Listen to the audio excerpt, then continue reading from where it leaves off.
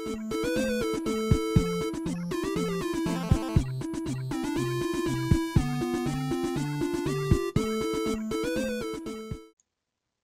is going on everyone? My name is Ricky and welcome to my YouTube channel.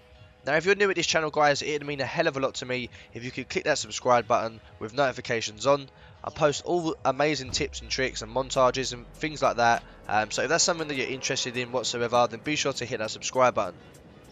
So if you don't have the best of PCs and you get a lot of performance issues in Fortnite, for instance, buildings won't load in, trees won't load in, you can't even open the doors because it's just like a big blur, you can't even see weapons or guns on the floor, um, then do not click off this video guys, I'm definitely going to help you out with that problem.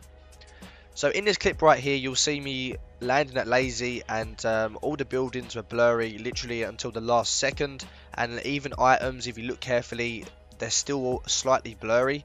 Um, and when I actually pick up weapons as well in my inventory there's no gun there's no picture of it if you can see there. So that's like a sign that you're lagging a lot. And unfortunately you're not going to be able to do a lot against someone that's not lagging. So um, here's a little fix for you guys. But first I'm going to show you the fix first and how it performs now just so you can see proof before we get into the tutorial. I don't want you guys just to keep you know skipping to the end and stuff. Um, so I'll show you the proof now guys but let me tell you how this is going to work. So all these people upload YouTube videos and tutorials about changing about a million different settings to try and get your game to get 100 more FPS and things like this guys. They are literally all fake I promise you. The only 100 million percent way to legitimately get a lot lot more FPS is by getting a lot new parts for your PC um, so they're all lies, guys. So don't really listen to a lot of them. I have seen a few, and some things do work. For instance, the priority. If you go into your task manager, I'm not showing you in this video, but if you go into the task manager and right click on Fortnite and click go to details and then right click it again, it will say set priority. And then you can set it to high, and then what it does, it sort of sends all the power and stuff uh, to that game basically, and it will help it perform a slight bit better.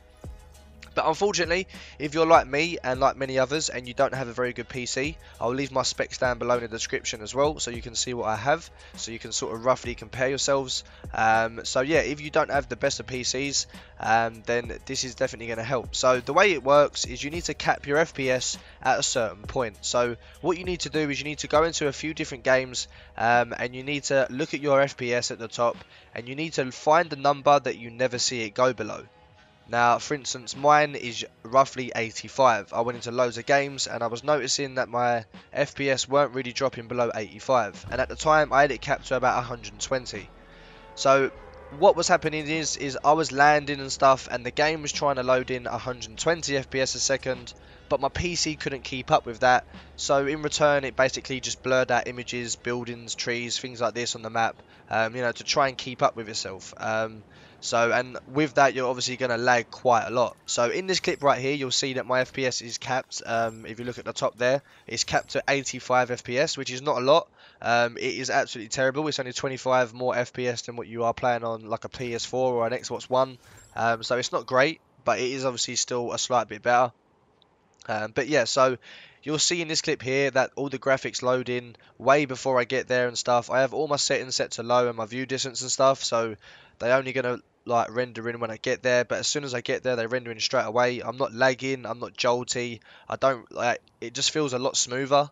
Um, so what you guys need to do is find your spot where your PC can perform at its best but just before there because you don't want to make it perform too hard because then that's what's going to make like all the things blur out and you'll lag and stuff and you're just going to get shit on basically every time that you see a, like an opponent is yeah right anyway so moving on I'm going to show you how to do it now um, unfortunately, um, some of you may be able to just do this setting like on the actual game itself. Fortnite has a few different FPSs uh, like, like uh, that you can cap it to on the game.